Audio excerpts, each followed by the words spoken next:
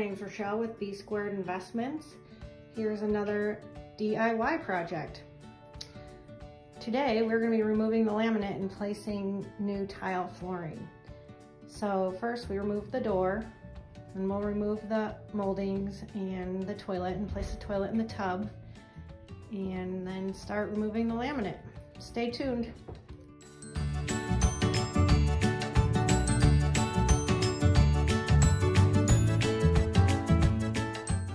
To remove a toilet, you have to unscrew the bolts from the toilet itself. Get it out of the ground. Chrissy's doing a nice job doing that, wearing her uh, proper PPE, protective clothing. You're also going to want to make sure that the water is off and empty the tank before placing it into the shower. So we just took a blade to the caulking around the toilet and then lifted it up and now we're going to pick it up and put it in the shower out of the way. Out of the way. See if muscles can do it by No, I herself. can't. Oh. okay.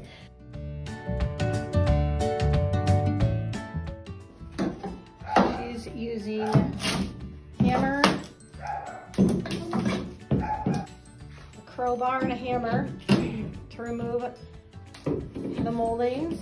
Now she's just removing some nails left over by the moldings.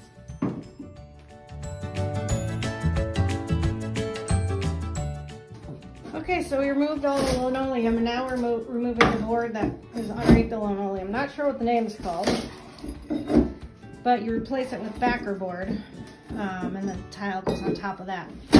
So we're just using some crowbars to remove the, the board. Okay, so we successfully removed all that wood and now we're just cleaning up so we can see the staples that we need to remove because you got to make sure you remove all of the staples before you start the tile process. So you got to measure your backer board. I need your sharper knife. Nice sharp blade. Scorch it. Scorch it. You're really good at scorching. Score it.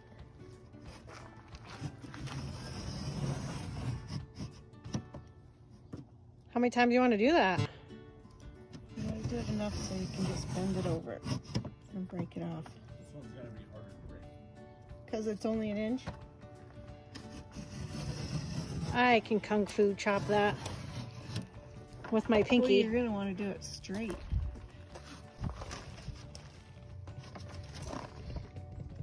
Not as strong. Sometimes you need a strong man.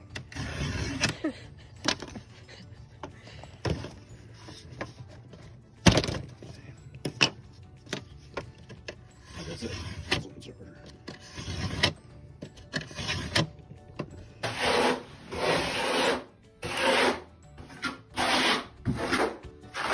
Alright, so you're gonna go to Lowe's or Home Depot again. you're gonna get your thin set.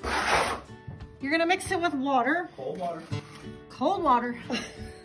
Get your margin trowel. And you do the teeth side on your trowel. You want it all nice, nice and even. And then you want to make sure you have a nice bucket of water with a sponge in it for cleaning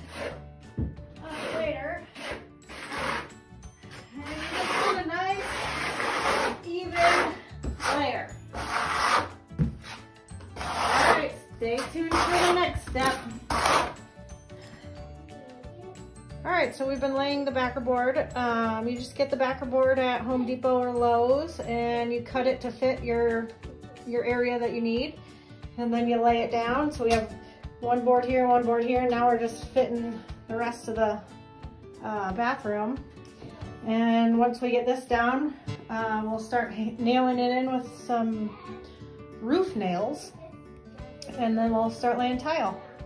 So now you're just, you just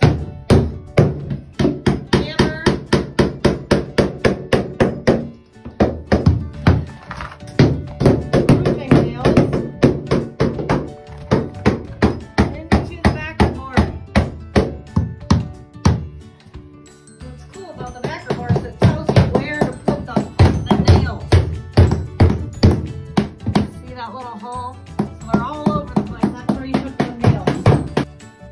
So after nailing in all your backer board, you get your tile and you try to see what way you want it to be laid.